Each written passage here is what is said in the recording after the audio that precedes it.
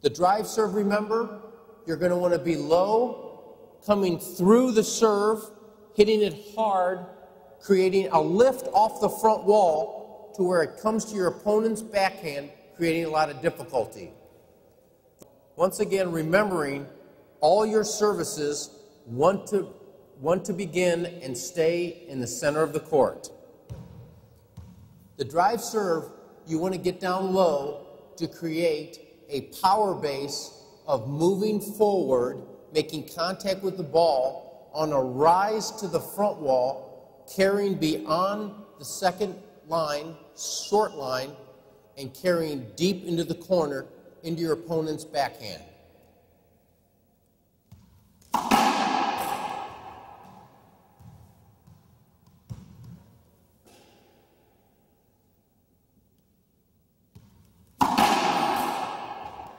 Remember, when hitting the drive serve, you want to stay down and low on it to create a good power base into the stroke.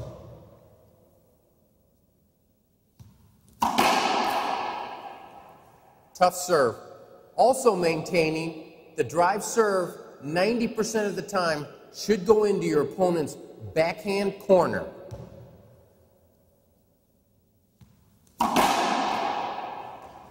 Tough serve.